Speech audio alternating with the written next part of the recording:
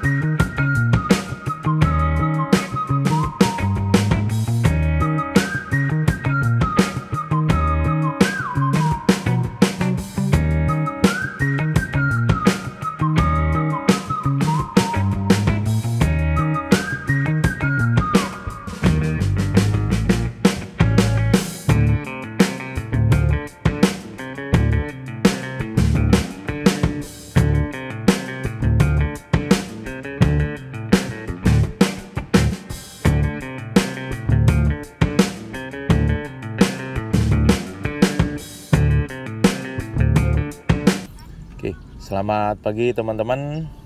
Apa kabar semua?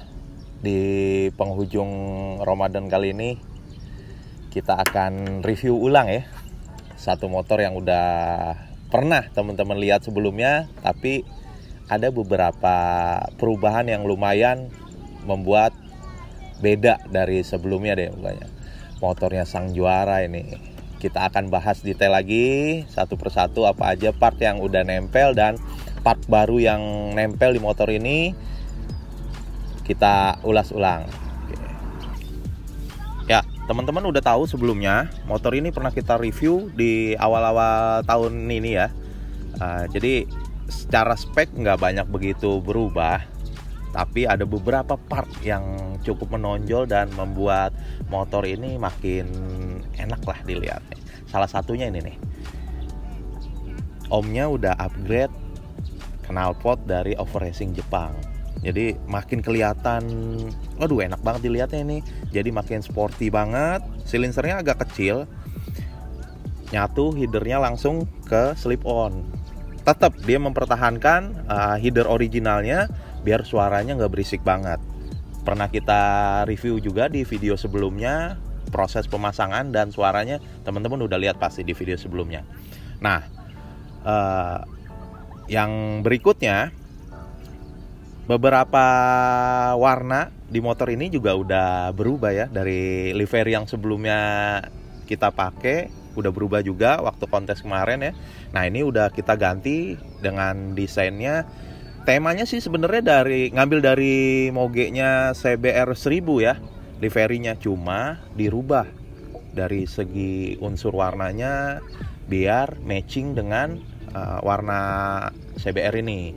Warna aslinya memang dari biru tua ya, dark blue dikombinasiin sama liverynya CBR 1000 RRR ya.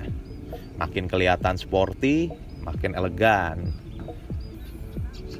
Nah, teman-teman perlu ketahui juga ada beberapa poin penting kita ngebangun atau memodifikasi sebuah motor berkonsep seperti ini ya tentunya ada plus minus dalam modifikasi seperti kayak begini. Jadi nggak bisa teman-teman paksain motor uh, modifikasi yang kita peruntukkan ini lebih lebih mengarahnya ke fashion ya, ke fashion, ke kontes. Jadi nggak bisa teman-teman samain motor ini buat balap, race di sirkuit nggak bisa. Karena speknya aja udah beda dari segi bobot, dari segi beban itu nggak akan bisa uh, kita bawa ngebut atau kita bawa ke sirkuit untuk handling yang gila-gilaan itu akan beda rasanya. Karena kita ciptain motor itu ini kita bangun memang buat kontes atau buat fashion.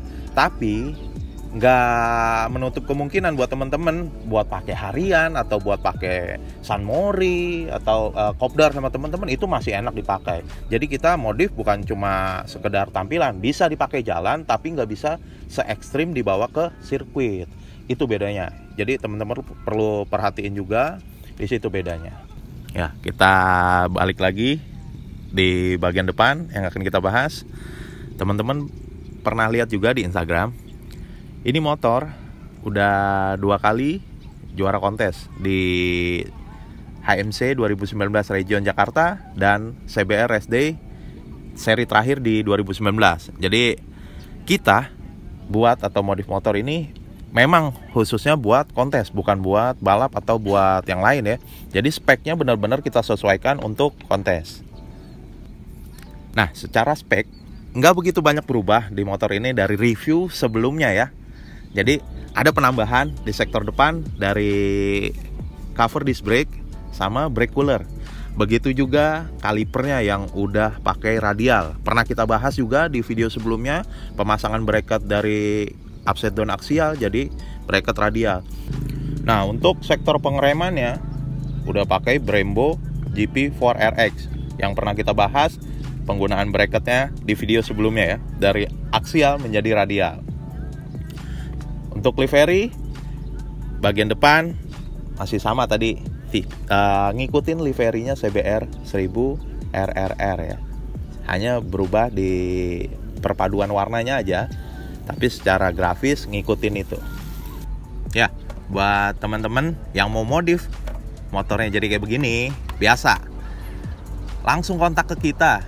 Mau speknya kayak begini siap kita garap. Dan kebetulan motor ini sama omnya yang punya nih kaki-kaki mau dilelang. Kita beberapa kali posting juga di Instagram yang minat tinggal rakit ke CBR 250RR PNP jadi nggak perlu penyesuaian lagi tinggal siapin budgetnya berapa. Untuk modifikasi seperti ini kita tinggal pasang atau kirim-kirim. Misal keluar kota atau keluar daerah bisa. Karena partnya sudah kita setting PNP di CBR 250RR tinggal pasang nggak perlu ngebubut nggak perlu ngapa-ngapain lagi. Tinggal rakit kayak part original. Jadi kalau mau order bisa kontak ke kita. Nah balik lagi. Konsep modifnya seperti apa? Kita arahkan seperti ini motor udah beda spek dengan motor standar atau motor buat balap. Jadi teman-teman nggak usah khawatirkan oh nggak bisa ngebut atau nggak bisa buat apa gitu. Ya karena memang peruntukan modifnya seperti ini gitu. Arah modifnya ke arah sana gitu. Tapi kalau buat fashion atau buat kontes hayo kita bisa adu gitu. Makanya kita beberapa kali juga sudah menghasilkan juara gitu di motor ini. Alhamdulillah. Oke video kali ini cukup. Teman-teman yang uh, masih menjalankan ibadah puasa semoga dilancarkan sampai akhir Ramadan. Dan semoga berkah Ramadan di tahun ini dan yang terakhir kita masih negara kita masih corona. Jadi mudah-mudahan cepat berlalu dan cepat segera bersihlah negara kita dan dunia ini agar kita bisa beraktivitas seperti sedia kala. Ya udah terima kasih teman-teman. Sampai jumpa di video berikutnya.